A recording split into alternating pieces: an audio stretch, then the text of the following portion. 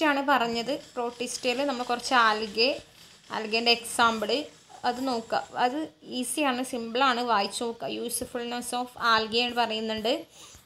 അതുപോലെ തന്നെ ക്ലാമിഡോമോണസിന്റെ structure സ്പൈറോഗയറിന്റെ structure ഒക്കെ പറയുന്നുണ്ട്. ആൽഗിയ ഡയാറ്റംസ് അതുപോലെ തന്നെ യുഗ്ലീന. യുഗ്ലീന എന്ന് പറയുന്നത് ഒരു ഫ്രഷ് വാട്ടർ ഫ്ലാ ഫ്ലജലേറ്റ് ആയിട്ടുള്ള ഒരു ആൽഗിയാണെന്ത്? യുഗ്ലീന എന്ന് പറയുന്നത്. ഓക്കെ? ഇതിന്റെ എല്ലാം എക്സാമ്പിൾ നോക്കുക സിമ്പിളാണ്. പ്രോട്ടിസ്റ്റ. അതുപോലെ തന്നെ നമ്മൾ മുനീറ പഠിച്ചതുപോലെ തന്നെ പ്രോട്ടിസ്റ്റയും കമ്പയർ ചെയ്ത് ഫീച്ചേഴ്സും അതിന്റെ എക്സാമ്പിൾസൊക്കെ നോക്കിയിട്ട് വായിക്കും. നെക്സ്റ്റ് ഉള്ള കിണ്ടം എന്ന് പറയുന്നത് കിണ്ടം ഫഞ്ചയാണ്. ഫഞ്ച ഈ റൊട്ടീന്റെ ഇതിലെല്ലാം വരുന്ന പൂപ്പൽ ഫംഗസിൽ വരുന്നതാണ് പൂപ്പൽ അതുപോലെ തന്നെ മഷ്റൂംസ് ഈ കരിമ്പം കുത്തുന്നത്. അതൊക്കെയാണ് എന്ത്? ഫംഗസ് എന്ന് വരുന്നത്. ഒക്കെ പൊസിഷൻ ഓഫ് ഫഞ്ചൈ നോക്കാം.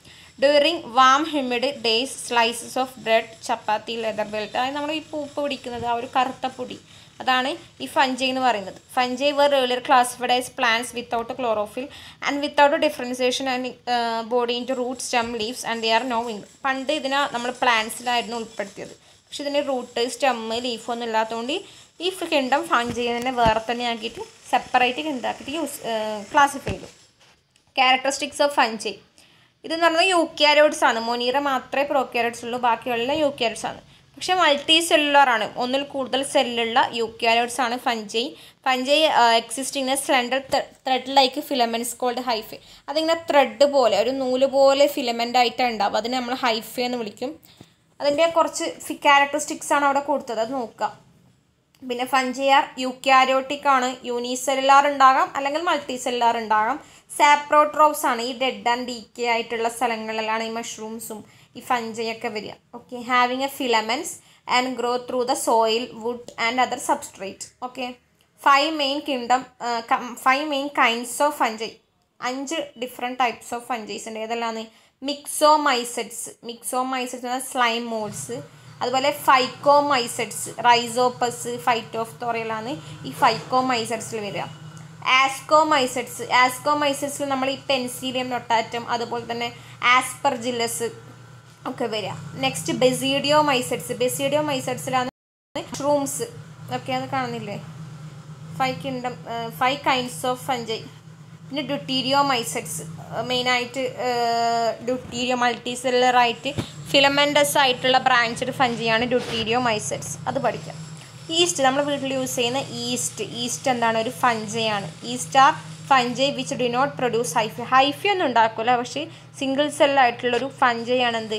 ഈസ്റ്റ് എന്ന് പറയുന്നത്. ഓക്കെ സിംഗിൾ സെൽ അതിന്റെ പിക്ചർ അവിടെ കൊടുത്തിട്ടുണ്ട്.